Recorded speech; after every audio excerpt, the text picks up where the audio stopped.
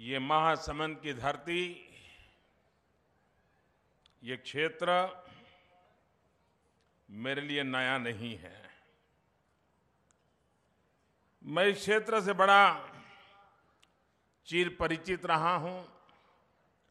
संगठन के कार्यकर्ता के नाते मुझे कई वर्षों तक आपके बीच में कार्य करने का मौका मिला है और उसके कारण यहाँ के लोगों की आवश्यकताएँ क्या है? यहाँ के लोगों की समस्याएँ क्या है? उन समस्याओं के सुलझाने के रास्ते क्या होते हैं?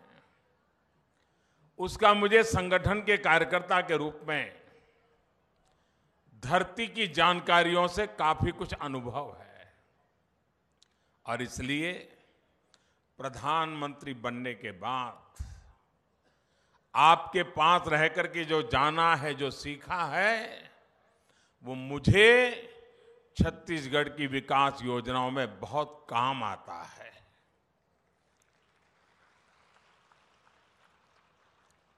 भारत सरकार की योजनाओं को छत्तीसगढ़ में हम लागू कर पाते हैं, जो छत्तीसगढ़ के सामान्य नागरिक के जीवन में बहुत उपयोगी होती और वही कारण है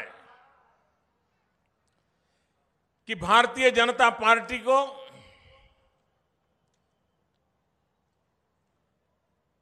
तीन बार से आपने विकास के मुद्दे पर सेवा करने का मौका दिया है। लेकिन दरअसल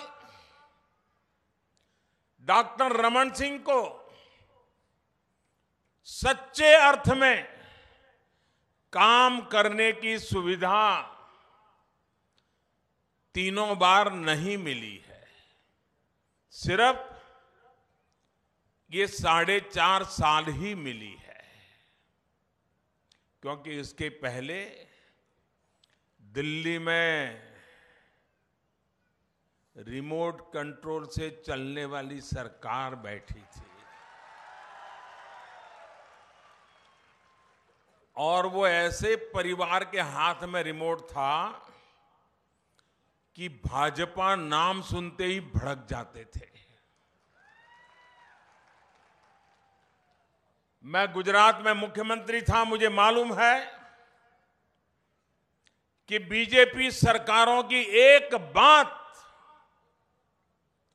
दिल्ली में बैठी हुई रिमोट कंट्रोल सरकार सुनने को तैयार नहीं थी। मुझे गुजरात की भलाई के लिए दिल्ली से लड़ना पड़ता था।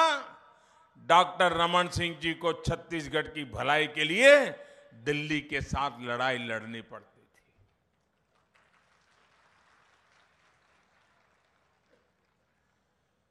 हमारा वो दस साल का समय, जनता ने तो हम पर विश्वास किया, लेकिन हमारा पूरा समय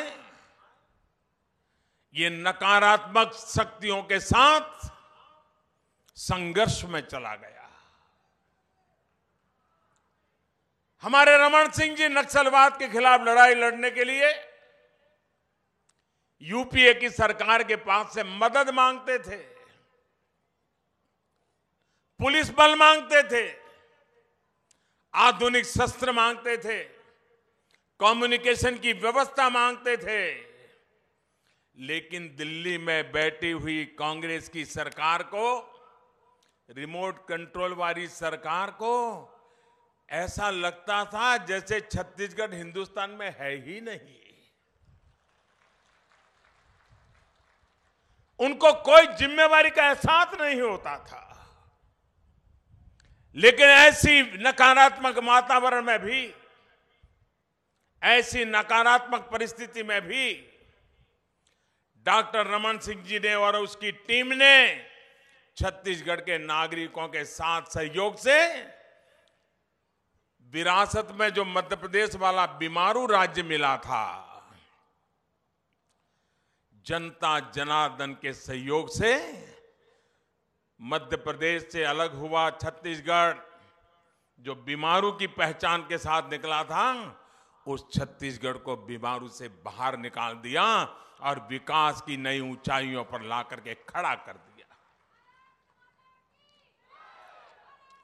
छत्तीसगढ़ को फलने फूलने का पहला अवसर जब दिल्ली में भाजपा की सरकार बनी, तब आया है।